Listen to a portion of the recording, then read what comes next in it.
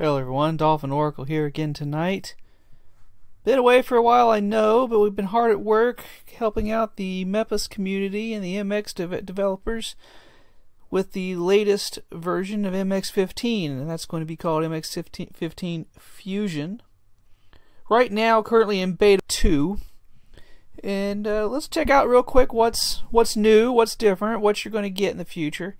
Uh, First off, we got the nice welcome screen. We've got a link to the user manual, to the online wiki, uh, the tools, uh, the MX tools that you uh, may or may not uh, remember. We'll check those out here again in a second. Got a contribute link if you want to uh, throw the guys some coins to help with server costs. Link to videos on the MX website and a link to the forums for your perusal. And if you're running live, you're going to get a button for login info that's going to open up the manual, which does come pre-installed on the ISO, and it's going to show you the default passwords just in case you need that information. So that's pretty cool. Uh, when you log in for real, there's going to be a little box here that says, uh, uh, you know, check to have it restart if you want to restart every time for some reason. So what's new in MX15? Uh, uh, for MX15, for well, for one, we've got a new kernel and we're going to whoops. For one we've got a new kernel. Uh, I'm running the 64-bit version which I might add is also new. Uh, we're running a 4.2.3 uh, Liquorix 60 I'm running 64-bit kernel. The 32-bit version uh, will come with two kernels, a, a PAE or physical address extension, or a non-PAE kernel in the same ISO so that you can uh, choose at boot time which way you want to go. We'll show you the 32 bits once things get closer to final.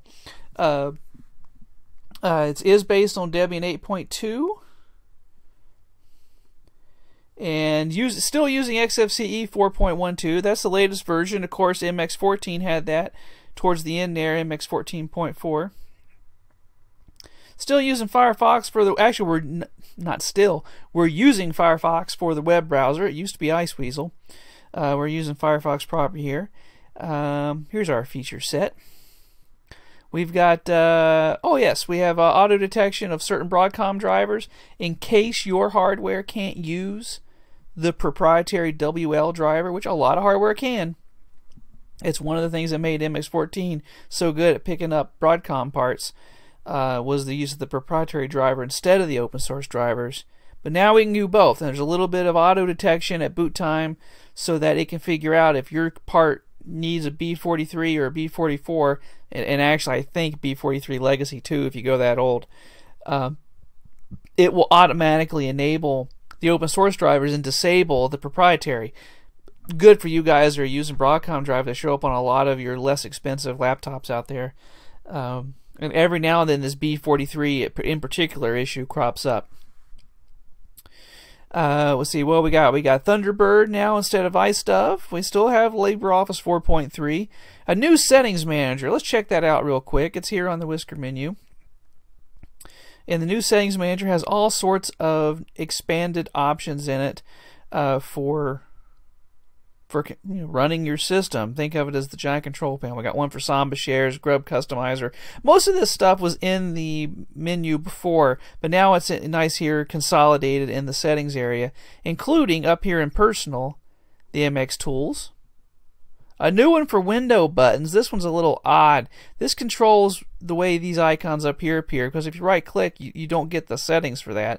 You can get to the settings through the panel preferences, but this is easier. You just click on this and up come the window button settings, and you can you know do what you want. You can show them flat if you like the flat look, or see if you can if you watch the little the little icons will change just a little bit there from an embossed look to a flat look. You can show handles so you can move the thing around. Uh, button labels don't work real well on the vertical panel, but maybe you see MX panel orientation as well. This is new. We can display the panel horizontally automatically. If I actually check the box and hit the button. And there we go. And now you see we have label menus and everything, and this is very nice. The, the, it's intelligently rearranged. Uh, pretty good. And if you want to put it back, you can put it back. you can either put back the default configuration, which is plain Jane how it came from the factory, so to speak, or you can just do this restore backup because it made a copy of your panel before you did it. That's nice if you have custom icons and you want them back or whatever. Uh, again, I'm just going to breeze through this real quick because we're still in beta.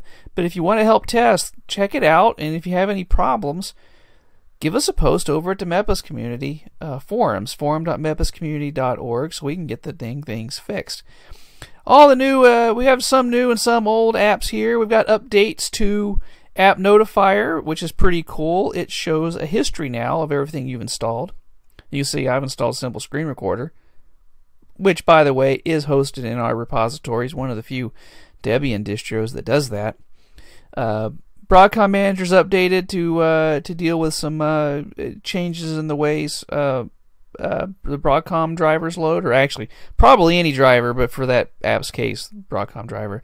Uh, the codecs installers here updated to handle 64-bit codecs, fine shares, Flash Manager. All this stuff is here to help you uh, get the most out of your system. Now, one thing you should you want to know about Flash in MX15. Flash in MX15 is actually using Pepper Flash by default, and the Fresh Player. It doesn't show it on this screen, but it's the uh, Fresh Player plugin, I believe, is how that works. Uh, Package Manager's got some new options in it. Uh, this is a real popular feature. Uh, audio, we now have Spotify in here. That's pulling from the Spotify testing repo because it works apparently just fine on Jessie based systems. Uh, we've got a children's tab, including Scratch programming. If you've ever checked, it's it's like building programs with blocks. it's really cool if you if you've ever wanted to learn even just programming concepts. Scratch is a great place to, to check it out, and especially good for for younger kids. Uh, my ten year old loves it. Um, uh, it's from MIT. It, it's a nice package. Uh, we got some kernel options here, and these will be different depending on if you're on 32-bit or 64-bit. But you see, we have the latest testing kernels, the default Liquorix kernel, and the in a fallback kernel in case you've got parts that don't work with the most current kernel. There's a few out there we've seen in the forums that do. So the fallback kernel's here for you. Oh yes, games. We've got uh, because someone mentioned it, and you know who that was. We've got Play on Linux here in the um, in the package installer. This is actually a suggestion from Linux Help Guy's video. He uh, he mentioned, boy, this would just be perfect if it had Play on Linux. So uh, we checked out the Debian repos. Turns out they have a version, but this version is actually hosted in the MEPIS forum, uh, MEPIS repositories, the MX repositories now. Um, and it's a little more up to date than the one hosted in the Debian repos. And just for fun, no one asked for it, but just for fun, we threw a link in here for Steam as well. So anyway, there's a lot of cool options in there. There might be some more crop up by the time uh, the final package comes around. Who knows? So let's see, uh, Broadcom Manager, uh, codecs, and so the menu editor is a feature that was added late in MX14. It's relatively unchanged, but it's already awesome. So you can check that out. It's it'll it'll work for editing both the applications menu in XFCE and the whisker menu, which we use by default. What else is new? Uh, we've got better localization of a lot of the apps, a lot more translation going on. Uh, we've got packages in the package installer and or through Synaptic, however you want to do it, for international localization of Firefox and Thunderbird and LibreOffice and a few other things. So that's here for you to use. Uh, what else we got by default? There's a couple new apps installed by default in Internet. I already mentioned Firefox and Thunderbird. In graphics, we've got GIMP. A lot of people wanted the GIMP install. It's here. We've got uh, Gscan to PDF, which is a neat scanning utility, particularly handy for turning scans into PDFs. Uh, a couple games by default. Those are the same games we had before. Um, all in all, most of the app apps are the same. Most of the apps you'd use on a daily basis by default are the same. There's, like I say, GIMP's maybe new for, for some people. Uh, one other feature that I want to mention is we have a few custom themes for MX. We have Greybird Thick, Greybird Thin, Greybird Bluebird Thick, and Bluebird Thin. These these are, are um, uh, won't call them experimental. They're uh, tweaked themes, because we're trying to figure out how to make it easier to grab the bars at the bottom of the windows. The default Greybird only has like one pixel width down here for grabbing things for, for resizing windows. So we got this new thing. And while we were doing that, we said, hey, let's throw in whisker theming while we're at it. So you can see the whisker theme matches the panel. If we switch to Bluebird, you see it color change slightly, not a whole lot, but the whisker menu changed as well. This is not true of every theme. Some themes change whisker menu, some themes don't, but uh, our themes do and try to match them to the panel. So there's a few others that that do it as well. You can see that's that's one Mediterranean dark. So anyway, I'm going back to Greybird Thick because I'm thinking that's the leading candidate for the default by the time we finally release. And one other item here in settings, if you want them, you can have system sounds. Uh, there is a theme installed by default. Uh, XFCE's systems event sounds is a little clunky. Uh, but you can enable it. You're not going to be able to hear it, but there are little beeps and twists when you punch buttons and when you hit X's and things. Uh, we have one sound theme installed, and it is defined in the settings manager. Nah, that's not right. The settings editor. I always get these confused. I told you this was a little clunky. We're working on it. So you come down here to X settings and sound theme name, and you choose the sound theme that you can install. Now we're we're we're, we're including one called Borealis right now. Will be in the betas. It'll may or may not make it to final. We'll see.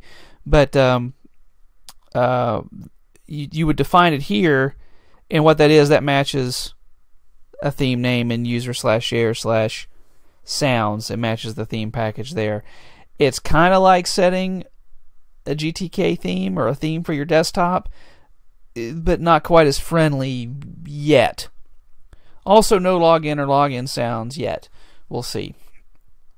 There's a few other odds and ends that are new under the hood, in particular in the installer. I can't run it through. I'm not going to run through an install right now while I'm recording because it it it it it takes a while. But the installer is enabled for to to give you information on GPT uh, style disks, and also on it will install to a UEFI in a UEFI environment, EFI environment. Um, not working real well with apples, but does any, is anybody really surprised by that? Uh, that it wouldn't work well with an apple. But uh, there are um, so far other implementations, particularly a lot of Dell laptops that we've been testing on uh, that use UEFI. The installer appears to be working okay on the Dell. So, you know, if you got a UEFI, uh, give it a shot. Uh, there's a slightly different boot menu and everything when you when you do that. You can also set uh, there's a couple of new options, minor options in the installer. Most of the hard work was in the back end. Kudos to to one of the devs, Adrian, for knocking that thing down. Uh, the the uh, you could you you can set your your default clock format now. The installer is one of the kind of frills, I guess you can say. There's one other feature uh, that was off requested during the 14 development, and that was why don't you throw in more wallpapers than two? Well, thankfully, XFCE makes things a little bit better for that with their with their uh, with their new desktop settings app, and we just we yeah we've got more wallpapers. There's uh, what we got here. We got eight. We got eight new wallpapers. Uh, they're pretty nice. I'm uh, Big fan of the road here.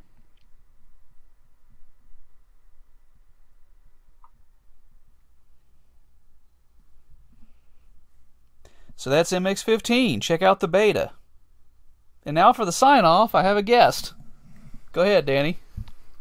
For tips, tricks, and how to's, head over to mepiscommunity.org or throw up a post on the forum.mepiscommunity.org. This is Danny and Dolphin Oracle. Signing off. Have a great day.